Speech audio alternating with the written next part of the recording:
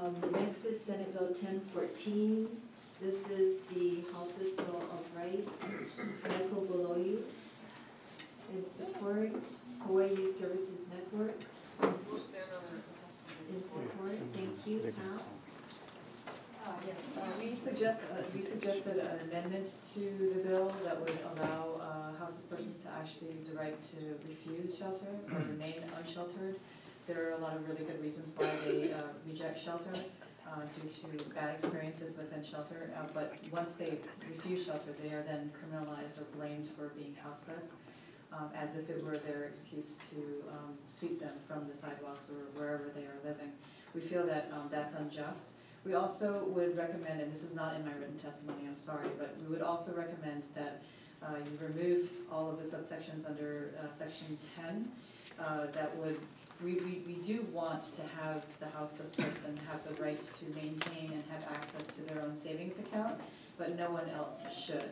And we are aware that there are some shelter services that provide this trust situation, which uh, we feel is in violation of Hawaii State Trust Law, HRS four twelve um, eight one oh three, which says, unless um, chartered as a trust company under this chapter or otherwise specifically authorized by the laws of the state, no person shall hold itself out to the general public as being available to serve as a trustee or trust company, whether or not for compensation.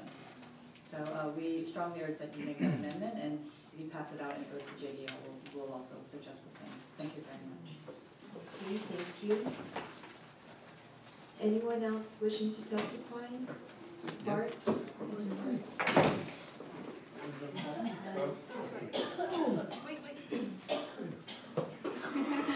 You, you wanna jump on both feet? Okay, now I'm speaking as an individual. Um, you have my testimony, I think it got in, got in a little late, I apologize for that. Uh, I wanna congratulate the committee for taking this on and the authors for, for writing it and proposing it. Uh, it's a groundbreaking approach. Um, I have been moved by personal experiences with homeless people and I'm kind of emotionally withdrawing from that and moving to a level of sort of abstraction and- and philosophical thing uh, rather than touch those emotions that, that I feel. Others have been very eloquent and have brought that dimension to it. Um, I- see this right to, uh, to shelter and right to be not persecuted as being homeless as arising from an orientation that as a Democrat, um, I trace back to at least um, Franklin Delano Roosevelt's Declaration of the Four Freedoms uh, in nineteen forty-one, on the eve of World War II, where he was trying to articulate not just the vision of the, of the New Deal in the United States, but also uh, the basis for an alliance of democracies in the struggle against fascism, that we would uphold certain minimal rights and respect for our people. And these got incorporated into international law uh, after World War II. They were incorporated in the United Nations Universal Declaration of Human Rights, uh, specifically the freedom from want. Uh, They inspired and are incorporated in the International Covenant on Economic, Social, and Cultural Rights and the International Covenant on Civil and Political Rights. The United States has signed but not ratified these documents.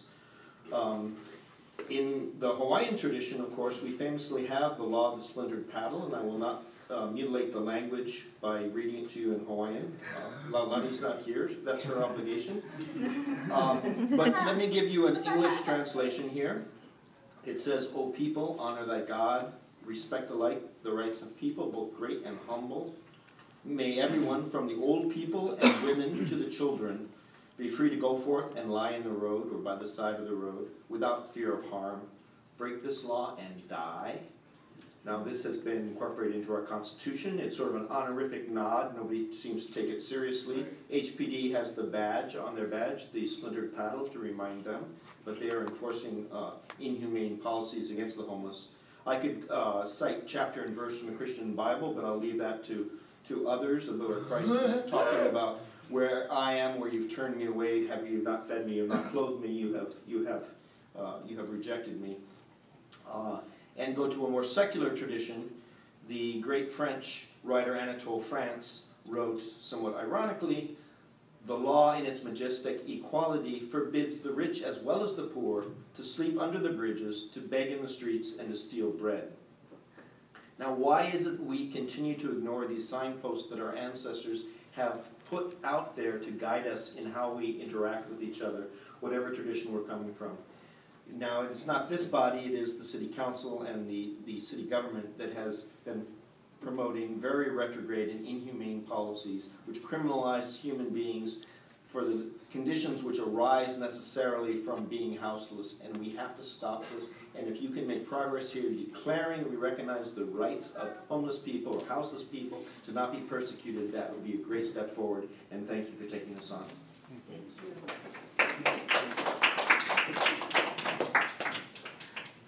As David's coming up, we do have Rick Morse in support, Sherry Bullock in support, Sylvia Pope Young in support. That would be great, Dave Mulinix. And um, this really, the the laws that the city council passed really remind me of the laws in the sixties that prevented people from voting, uh, just because of their color. And, um, you know, the stereotyping of the houses by the newspaper and by legislators is, it's almost criminal. And, and, and so the police and the city workers treat them like just, they're not human. And uh, uh, we have videotape of the city workers and police coming and taking absolutely everything and throwing it into dumpsters, including ID and medication. Even though the city council said that wouldn't happen, and we've gone and, and, and and testified before the city council that it was happening, and they never said, well, we'll tell the police, don't do that. It continued to happen. And so, you know, reaffirming that these are human beings who have civil rights is incredibly vital. And I'll just tell you one quick story. For four years, we've been doing uh, potlucks and, and um, uh, music for the houseless. And we were there one evening, and it was just pouring rain, freezing cold, and this woman comes in with this dress that's completely drenched, this thin dress. The police had come and taken absolutely everything that she had and left her destitute. The whole, they say the reason for these losses, oh, they'll make them go to shelter. How is she gonna go to shelter at night after it's closed? And she had nothing. So we gave her something to eat, we gave her a cup of hot coffee, we played some music, we, we gave her a towel to dry off with, and she started feeling better. And then, you know, she finally went into the night. What happened to her, I'll never know. But this is what's really happening with these laws.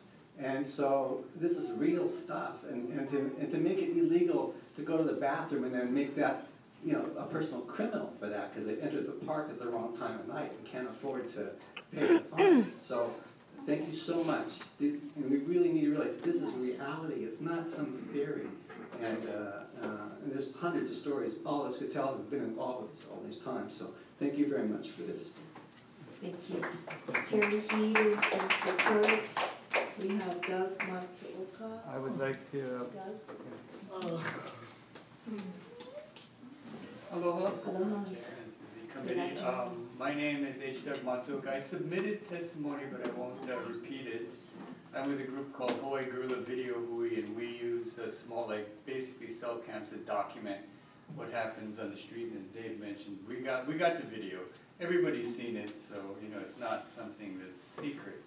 Um, I support SB ten fourteen, uh, the Ho- Houseless Bill of Rights. Um, and I'm not gonna repeat my testimony, but I did wanna mention that, uh, a few years ago, I attended a ceremony that was about the reopening of Honouliuli, um, internment camp, That's where the, uh, Japanese were imprisoned, uh, in Kunia during World War II because they were Japanese, and there were a lot of dignitaries there, the mayor was there. Um, uh, one of the speeches was by the headmaster of the Buddhist Academy. And he noted that the pursuit of justice was a very noble thing, but there was something better, there was something higher even than the pursuit of justice, and that was compassion. Um, and he defined compassion as feeling with somebody, feeling what other people feel, and if you can feel that, that's the only way that human suffering will be alleviated.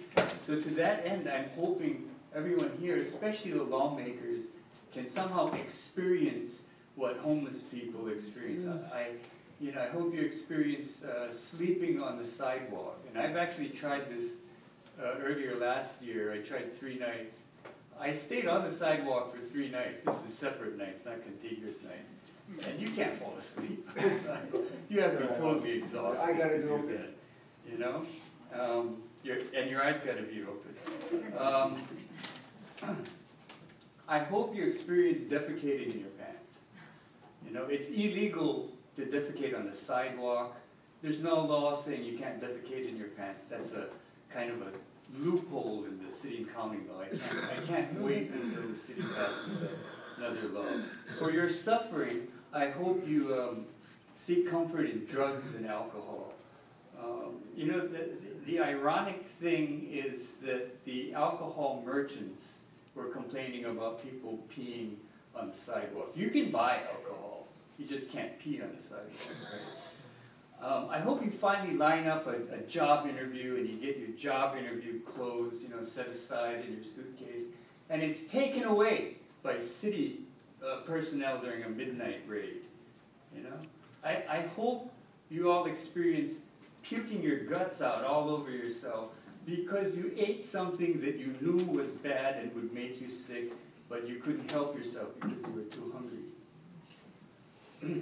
I hope you try your best to maintain your human dignity, but fail, okay?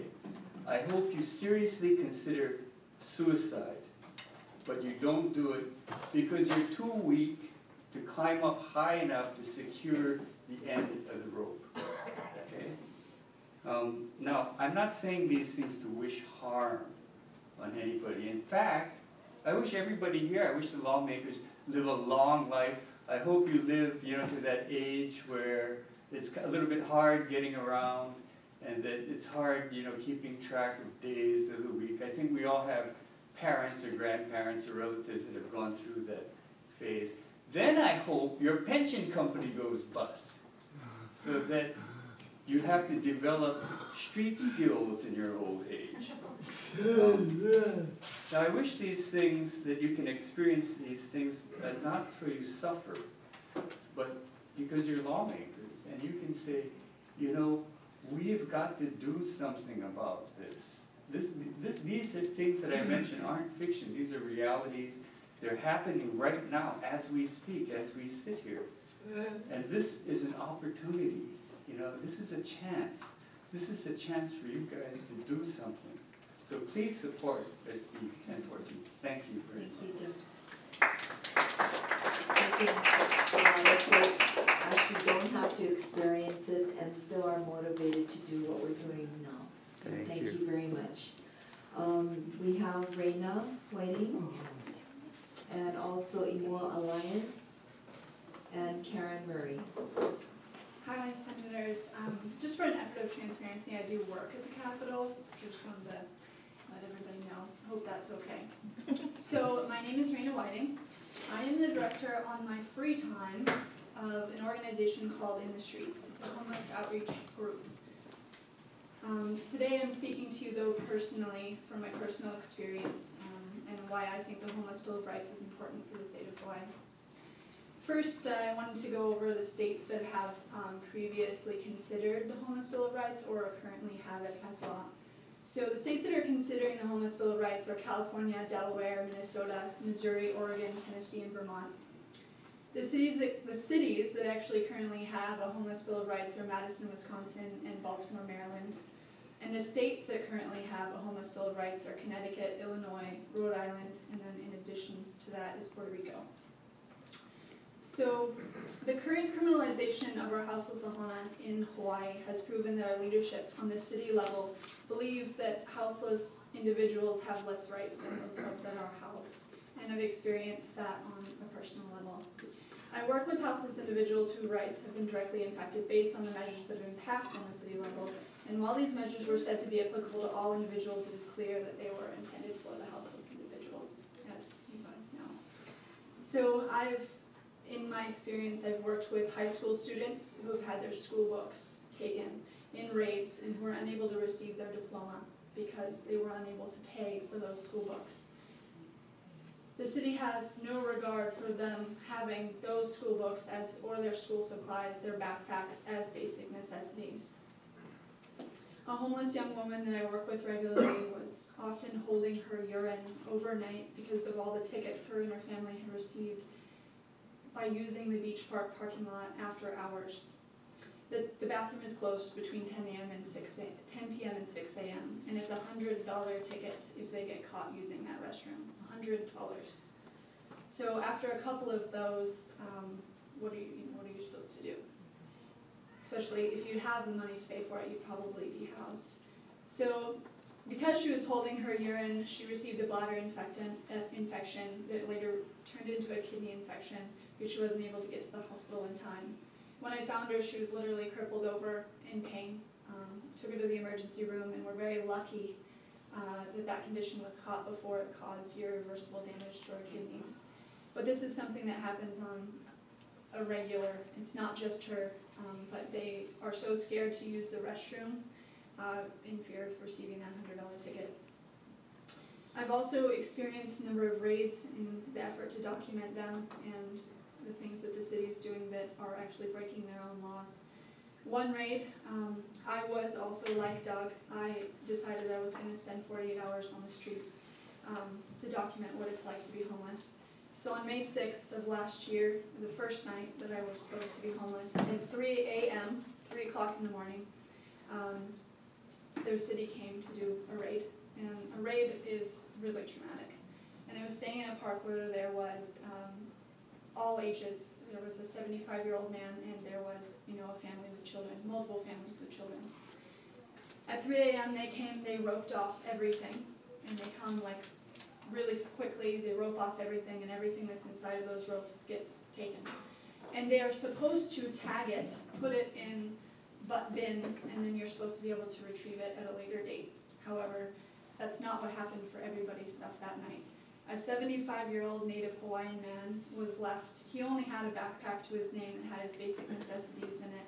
Um, but he was left with just the clothes on his back. And inside of his backpack was, was his very much needed heart medication, a photograph of his late sweetheart, he called her, um, and, you know, his toothbrush and a jacket. And he was left there with one shirt and a pair of pants, and that's it. That's all he had that night. So as thing, and in addition to that, there was a family there that act- ended up staying in the park, a family of four, mother, father, and a three-year-old and a four-year-old daughter, and they were left with nothing as well. They, all their children's stuff, they both of the kids were in preschool and both of those parents worked. So they would leave their stuff in kind of packed up and then go to work and come back. So though, that family, every single thing was taken, so they had, they had nothing to send their kids to preschool with the next morning. All their food, all their water, everything was taken.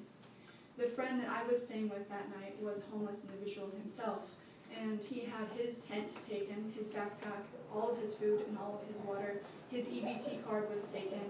Um, how is it, how is he supposed to eat? Supposed to eat after that.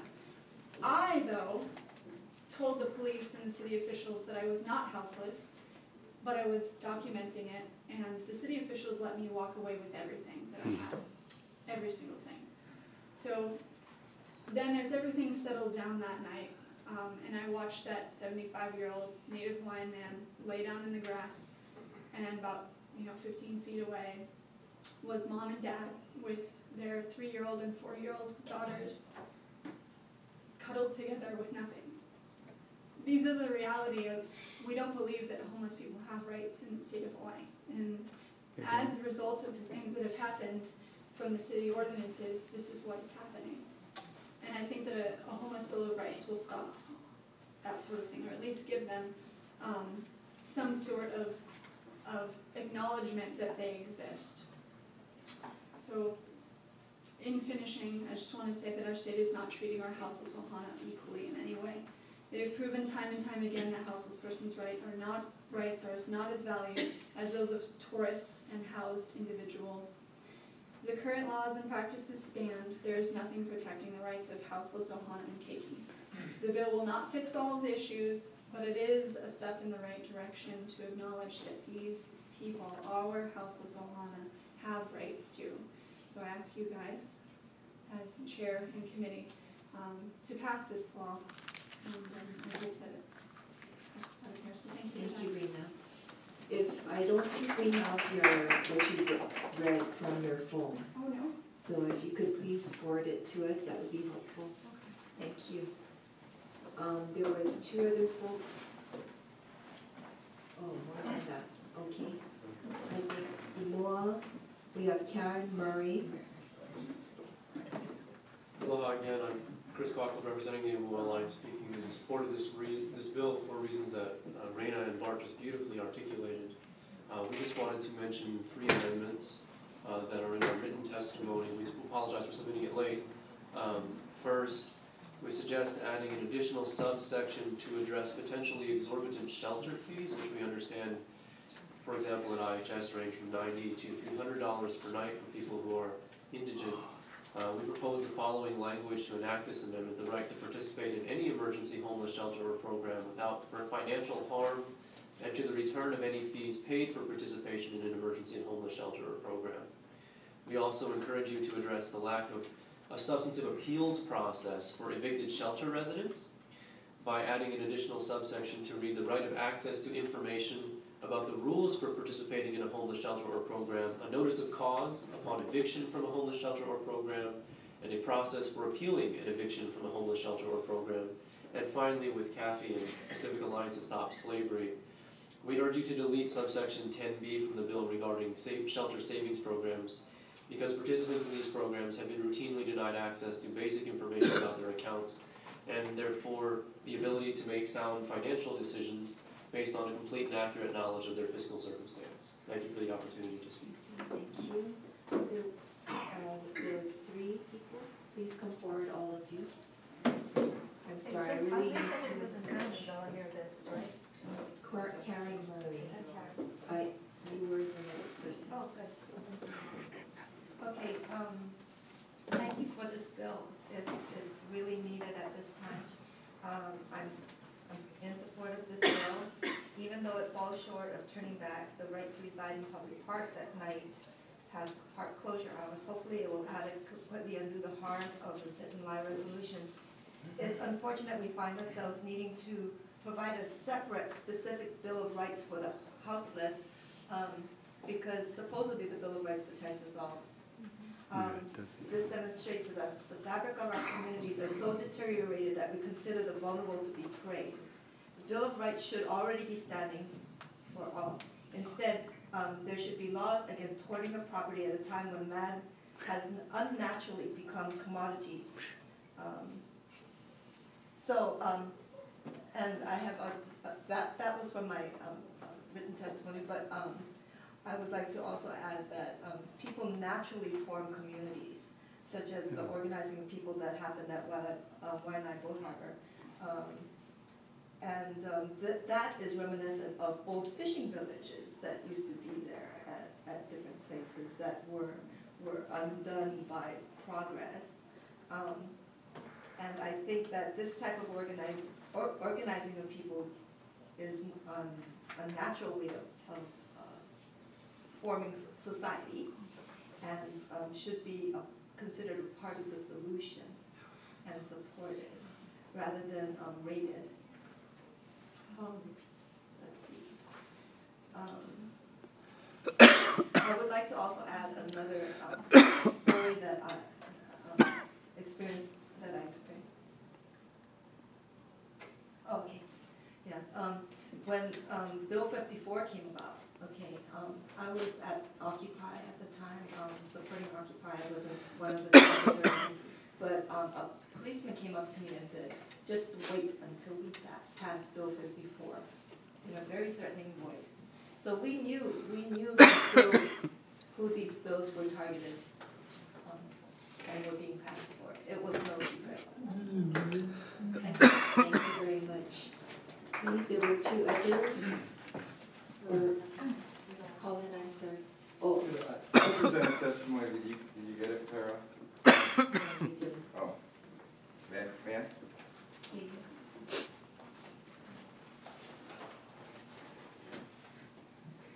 Good afternoon again, my name is Colin Kippen, and I'm with the Hawaii Interagency Council on Homelessness. And, uh, I don't think this bill is necessary. And I'll tell you why I don't think it's necessary. Every speaker who has spoken to you today has articulated a set of violations that to me clearly, clearly violate the Bill of Rights, violate the United States Constitution, and violate the Constitution of the state of Hawaii. Every piece of legislation that is passed has got to pass muster on the Constitution, under the Constitutions. And I can tell you this, we all have a protective bubble around us. That bubble is our rights. And it applies to us whether we have brown eyes or blue eyes, whether we're Hawaiian, whether we're Portuguese, whoever we are, whether we're houseless or whether we're not. And what I hear, which is to me so uh, frustrating, is that there are tools available so much more powerful than any legislative act that you will make and you will take that will have to answer to the Constitution.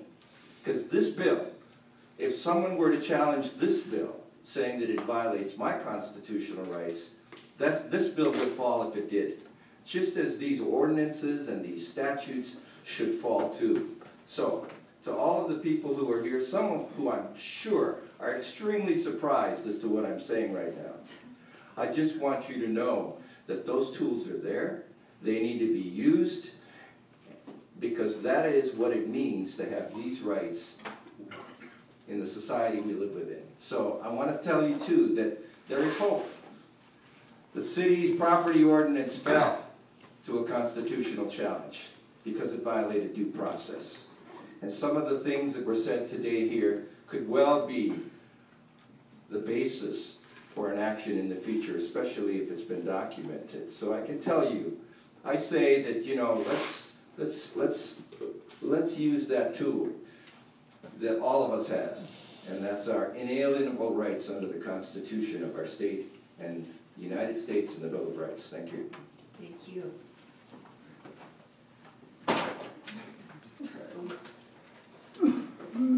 Thank you, again, I'll keep it short.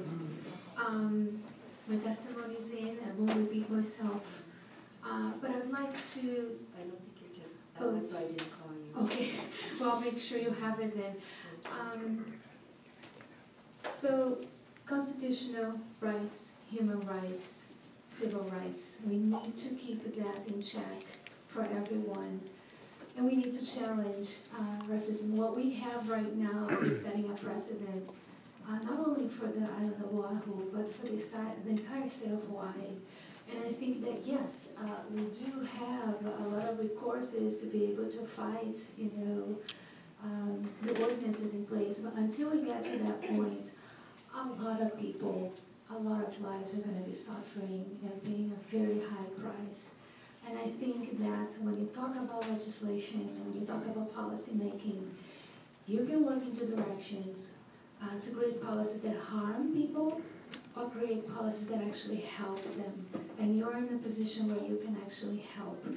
Um, for the legality piece of it and for additional help, um, we've been working very closely with the National Law Center on Poverty and Homelessness in uh, Washington, and Attorney Eric Tars uh, have offered his unconditional support uh, to be able to help the Senate with whatever is needed with the wording and uh, to get forward with this movement it's needed. I want to close uh, my statement with a story that's very brief, uh, but it happened and at a micro level to help you keep in heart and mind why it's important, you know, to really act on this. Uh, so this is a situation that happened in Brazil in 1993, um, where 80,000 homeless children were shot by the police and local business uh, men and women from the business district who just got fed up with their existence. I'm sorry to interrupt, but if, if. I will wrap it up. If We- Uh, If we don't I will wrap everything up, then we won't be able to vote, and That's it, so I really would like to get to the, thank I'll you. wrap it up. The point of the story is, and this is well known, uh, eighty-seven lives were lost, you know, human rights that were infringed, and because we didn't have, uh, enough people to say enough, you know, and to overturn, bad policy making, please do what, you know, what we're supposed to do here, very strong support, thank you so much for what you do. Thank you. There was one other person that needed to testify? No? Okay, thank you. We're gonna recess and we'll be back in a minute. Okay, we heard a bunch of bills the last two on uh, homeless issues. some good testimony by a bunch of people. I received a message from Annabelle Murray saying she wants Karen Murray to testify on behalf of the Murrays from now on.